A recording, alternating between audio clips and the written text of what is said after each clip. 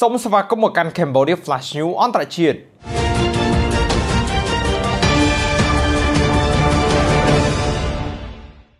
វិមានកម្លាំងចេញមុខច្រានចោលយ៉ាងដាច់ណាត់នៅពាក្យចចាមអារាមដែលថាលោកប្រធានាធិបតីវ្លាឌីមៀពូទីនមានរាងកាយច្រើនហើយរាងកាយពិតគឺតែងតែស្ថិតនៅក្នុងលេនដ្ឋាន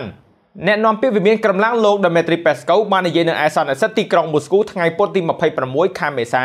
នៅក្នុងលក្ខណៈដូចជាអស់សំណើចទៅកាន់ពាក្យចចាមអារាមនេះ Peskov បាននិយាយថាអ្នកប្រហែលជាធ្លាប់ឮថាពូទីនមានរូបរាងកាយច្រើនដូចដូចគ្នា ជួយធ្វើការជំនួសគាត់ហើយរហូតអាចជំនួសដៃជើងធ្វើឲ្យពូទីនពិតប្រាកដអាចចំណាយពេលតែក្នុងលេនដ្ឋានការពារក្របបែកអ្នកអាចមើលឃើញដោយខ្លួនឯងមិនចាំបាច់ខ្ញុំនិយាយឡើយប្រធានាធិបតីរបស់យើងមានលក្ខណៈបែបណាការពិតគាត់តែងតែជាគាត់ហើយឥឡូវនេះគាត់ក៏សកម្មខ្លាំងទៀតអ្នកដែលធ្វើការនៅក្បែរគាត់ស្ទើរតែមិនអាចតាមគាត់ទាន់ មន្ត្រីរូបនេះបានបន្ថែមថាជាការពិតណាស់គាត់មិនអង្គុយនៅក្នុងលេនដ្ឋានណាមួយឡើយនេះគឺជាការកុហកទាំងស្រុងចាប់តាំងពីមានការឈ្លានពានទៅលើអ៊ុយក្រែនមកវាមានកម្លាំងត្រូវបានគេចាប់ប្រកាន់ម្ដងហើយម្ដងទៀតពីការលាក់បំបិតព័ត៌មានអំពីសុខភាពរបស់ប្រធានាធិបតីរុស្ស៊ីពូទីនវ័យ70ឆ្នាំរូបនេះ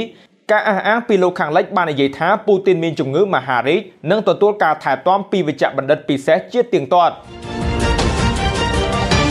សហរដ្ឋអាមេរិកនិយាយថាអ៊ុយក្រែននឹងទទួលបានអាវុធបន្ថែមទៀតនាពេលដ៏ឆាប់ខាងមុខនេះសម្រាប់ប្រតិបត្តិការវាយផ្ដាច់រំដោះប្រឆាំងរុស្ស៊ី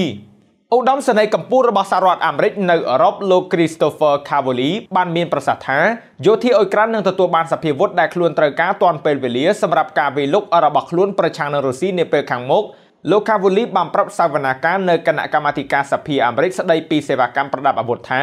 ខ្ញុំមានទំនុកចិត្តយ៉ាងខ្លាំងយើងបានប្រគល់សម្ភារៈដែលពួកគេត្រូវការហើយយើងនឹងបន្តបង្ហូរអាវុធទាំងនោះទៅទៀតដើម្បីទ្រទ្រង់ប្រតិបត្តិការរបស់ពួកគេឲ្យបានសម្រេចមិនមានការបញ្ជាក់ឬបែកធ្លាយអំពីពេលវេលាជាក់លាក់នៃថ្ងៃបើករំដោះពីខាងអ៊ុយក្រែននោះទេតែបើតាមលោក Yevgeny Prigozhin ដែលជាប្រធានក្រុមទាហានស៊ីឈ្នួល Wagner របស់រុស្ស៊ីបានឲ្យដឹងថាអ៊ុយក្រែនពិតជាបាននឹងកំពុងរៀបចំប្រតិបត្តិការវាយផ្ដាច់បកវិញជៀសមិនរួចមែននៅក្នុងសារជាសម្លេងដែលបានបង្ហោះនៅលើបណ្ដាញ Telegram របស់គាត់ ព្រីកូស៊ីនបាននិយាយថាកងទ័ពរបស់គាត់នៅតែមិនទទួលបានការដឹកជញ្ជូនគ្រាប់រំសេវដែលត្រូវការច្រើនពីក្រសួងការពារជាតិរបស់រុស្ស៊ីហើយបានទទួលរងនឹងការខូចខាតច្រើនជាងចំនួន6ដងនៃលទ្ធផលប្រធានាធិបតីរុស្ស៊ីលោកវ្លាឌីមៀពូទីនបានចុះហត្ថលេខាគ្រប់គ្រងទ្រព្យសម្បត្តិក្រុមហ៊ុនបរទេសចំនួន2ឆ្លើយតបទៅនឹងសកម្មភាពមិនជាក់លាក់របស់អាមេរិកនិងប្រទេសមិនរស់រាយផ្សេងទៀត។ បើតាមប្រភពទីភ្នាក់ងារសារព័ត៌មានតាសដែលជាប្រព័ន្ធផ្សព្វផ្សាយរដ្ឋរបស់រុស្ស៊ីផ្ទាល់បានឲ្យដឹងថាពូទីនបានចុះហត្ថលេខាទៅលើក្រិតមួយដើម្បីគ្រប់គ្រងបញ្ចូលជាក្រុមហ៊ុនបត់សម្ព័ន្ធរបស់រុស្ស៊ីជាបណ្ដោះអាសន្នទៅលើក្រុមហ៊ុនធម្មពលបរទេសចំនួន2ក្នុងនោះបាននិយាយថាភាគហ៊ុនរបស់ក្រុមហ៊ុនធម្មពល Uniper មានមូលដ្ឋាននៅអាល្លឺម៉ង់និង Fortum Oil Soyet ត្រូវបានដាក់នៅក្នុងការគ្រប់គ្រងបណ្ដោះអាសន្នរបស់ Rosimo Chesvo ដែលជាភ្នាក់ងារអចលនទ្រព្យរបស់រដ្ឋាភិបាលសហព័ន្ធរុស្ស៊ី រុស្ស៊ីម៉ូឆេសវូបាននិយាយថាពិតណាស់ក្រុមហ៊ុនបរទេសជាច្រើនទៀតអាចស្វែងរកទ្រព្យសម្បត្តិរបស់ពួកគេនៅខាងក្រោមការគ្រប់គ្រងបណ្ដោះអាសន្នរបស់រុស្ស៊ីក្រិតនេះបាននិយាយថារុស្ស៊ីចាំបាច់ត្រូវចាត់វិធានការជាបន្ទាន់បែបនេះដើម្បីឆ្លើយតបទៅនឹងសកម្មភាពមិនជាក់លាក់របស់សហរដ្ឋអាមេរិកនិងប្រទេសដទៃទៀតដែលមិនរស់រាយរាក់ទាក់និងផ្ទុយទៅនឹងច្បាប់អន្តរជាតិប្រទេសស្លូវេនីត្រូវបានគេរាយការណ៍ថាបានលួចបញ្ជូនរថពាសដែកវ៉ាលុក20គ្រឿងទៅកាន់ប្រទេសអ៊ុយក្រែនដោយសម្ងាត់ បើតាមសេចក្តីរាយការណ៍ដោយ Slovenian 24 UR ការដឹកជញ្ជូនទៅកាន់ប្រទេសអ៊ុយក្រែននឹងត្រូវបានបញ្ចប់នៅក្នុងសប្តាហ៍នេះដោយសម្ងាត់ទាំងស្រុងប្រតិបត្តិការនេះបានចំណាយពេលអស់រយៈពេលច្រើនខែមកហើយរថពាសដែក20គ្រឿងត្រូវបានដឹកជញ្ជូនដោយយន្តហោះ C-17 ទៅកាន់ប្រទេសជិតខាងមួយ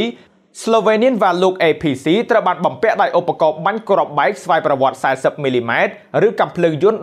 12.7មីលីម៉ែត្រពួកវាត្រូវបានរចនាឡើងដើម្បីដឹកជញ្ជូនថ្មើរជើង និងការពារពីមីនប្រឆាំងមនុស្សនិងអាវុធថ្មើរជើងរហូតដល់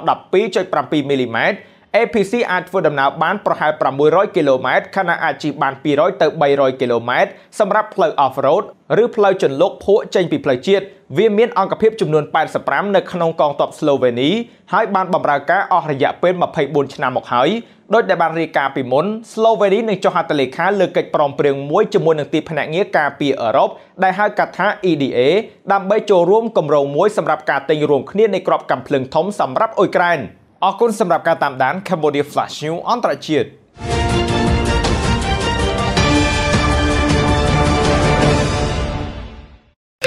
ជំរាបសួរលោកលោកសេនីកញ្ញាថ្ងៃនេះខ្ញុំបានប៉ានចម្រុងមានកិត្តិយសសូមណែនាំឲ្យស្គាល់ចម្រុង Entertainment ចម្រុង Entertainment គឺជាអ្នកឯកទេសផ្ដល់ជូនសេវាកម្មកម្សាន្តនិងរៀបចំកម្មវិធីគ្រប់ប្រភេទសេវាកម្មរបស់យើងមានដូចជា ទទួលរៀបចំ និងគ្រប់គ្រងកម្មវិធីគ្រប់ប្រភេទ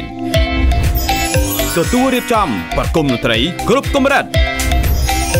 និពន្ធបទចម្រៀង និងផលិត MV ផលិត sport ពាណិជ្ជកម្មរចនាក្រាហ្វិកកាត់តរូបថត និងវីដេអូ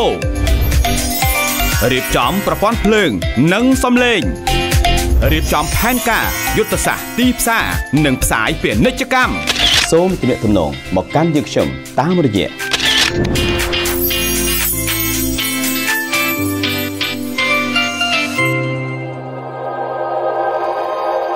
គុណភាពភាពសប្បាយរីករាយនិងទំនុកចិត្តមាននៅ ចម្រុង Entertainment